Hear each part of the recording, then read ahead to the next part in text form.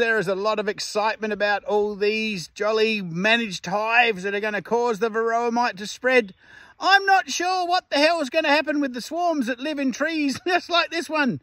What is going to go on when those bees decide to swarm and land on a truck and goodness knows where they could end up.